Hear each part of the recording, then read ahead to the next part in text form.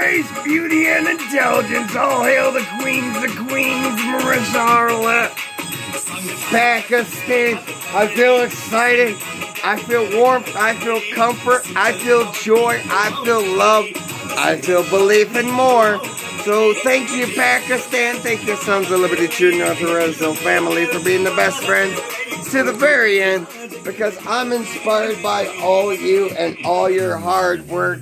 And yes, indeed, there's my beautiful Kiki daughter. Always by her daddy's side. Good morning, Pakistan. Salam alaikum.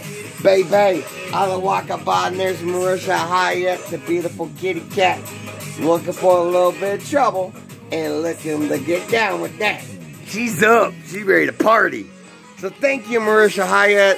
Thank you, Carla Varela. Thank you, Deborah, Aunt Michelle Marie, and all the beautiful ladies out there. Because strength, wisdom, inspiration by your beautiful minds inspires my courage, my strength until the end of time. No matter the darkness of the days, no matter what has happened that made the skies turn gray. Haven't seen River in a month, and you know that's driving me fucking nuts. But I love, respect, admire Mehwish Hayat as a role model of strength and courage to carry on, continue on. And Pakistan, damn, this greatest country in the world. Yes, ma'am. So who's feeling excited? Because, man, I have this fury in my heart and soul that I just love every single one of you for, for everything you do forevermore. So let your hair down, have some fun. Good evening, good luck, good morning, Pakistan to the greatest country in the world. Yes, ma'am. And all my beautiful daughters who are all around their daddy.